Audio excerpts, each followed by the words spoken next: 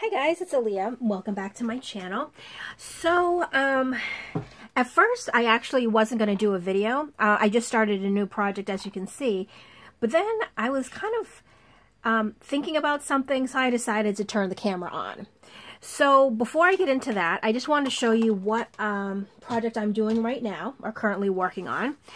There is this little digital kit from Ellsiebels bookshelf called Among the Wildflowers and it is such like a very um kind of spring slash summer slash oh my gosh I can't wait for all the flowers to come out type kit.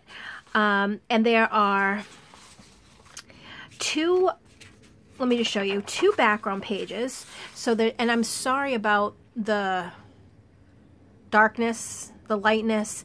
It, it is during the day, and I don't normally film during the day because it's so bright right there that it makes everything here look very, um, very dark. But let me see if I can turn on another light over here. I don't know if this is going to help, but let's just try. Um, I don't know if that helped. So let's see. Anyways, so there's two of these background pages. There's this one, and then there's this one. Okay.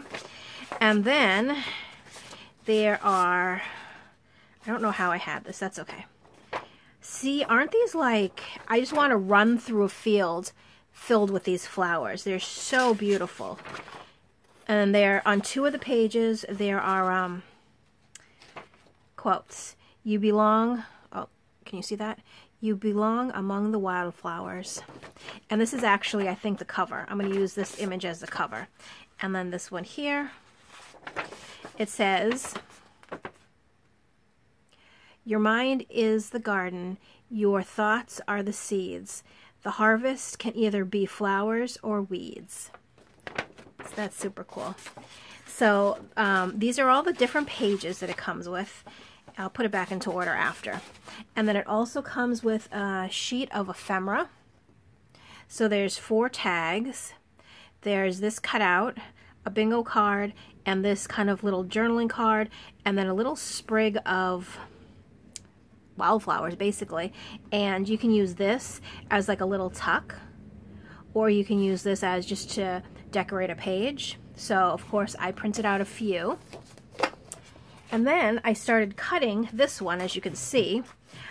Um, you know, I had my paper trimmer out here, and I cut off this edge, I cut off this edge, and then I started to cut here. So my question, the reason why I wanted to do this video was when you're cutting out ephemera pieces, just let's just take for example this type of thing. Um, do you use your scissors or do you use your paper trimmer? Because I kind of feel like I don't know. Some days I really just feel like cutting everything with my scissors. Some days I want kind of a shortcut and just want to, you know, cut, cut, cut, cut, cut, and then I'll use my scissors to cut off the little corners.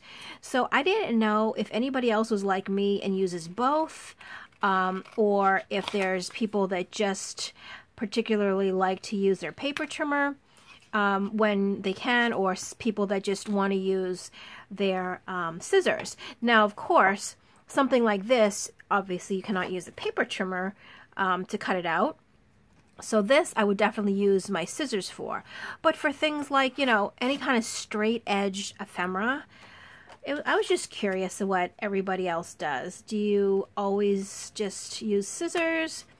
Do you use your paper trimmer? You know, because I don't know. I just don't know if it's my mind that keeps going back and forth and back and forth depending on my mood. Because also and believe it or not and this is going to sound really strange but depending on the mood that I am in will depend on how I actually cut out my ephemera how I actually cut down um, my pages and stuff. Because sometimes I don't know why and this is really strange but sometimes I really just want to use scissors to cut I don't know if that happens to anybody else. I mean, regardless what it is. I mean, there's been times when I'm working on a project where obviously this is not an 8.5 by 11 page, so there's little borders around each of the sides. Sometimes I use my paper trimmer to cut it down, but sometimes I need to use scissors to cut them, cut them down. Um, and it's the strangest thing because you would think, oh, well, you're cutting down pages, they're all straight lines just use your paper trimmer. But there have been times, quite a few times, where I don't know if it's the sound of when I cut the scissors or what it is, but I just, I want to use scissors sometimes. I don't know. Maybe that sounds a little crazy, and maybe people do something completely different from me, but it would be really interesting um, to kind of hear what everybody else does, because I think that as much as you have your own routine or, you know, your own way of doing things, well, for me, for myself personally, I do have a certain way of doing things, but I love hearing other ways that people craft because sometimes I'll look at that and say, well, why am I not doing it that way? Or, you know that's such a good idea. Um, I especially like little tips and um, tricks videos. Um, like I know Danny, she just recently did one with um, how she dyes her white lace. And I love videos like that because I could be completely set in doing something a certain way, always do it that way. You know what I mean? Um, you get into your little routine of doing it a certain way. But sometimes I'll watch a video like Danny's and say, you know what? I actually like that way better. Or you know what? I think I want to try that way because it seems um, so much simpler than what I'm currently doing now.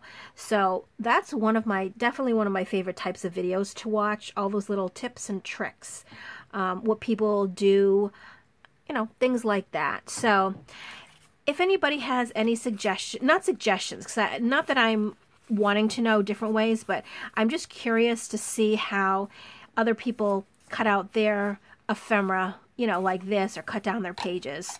Is it scissors or is it a paper trimmer? So I don't know. Let's have fun. Leave your comments below. And as always, thank you so much for watching. I'm going to get back to my project and I'm sure I'll be back soon. Talk to you later. Bye.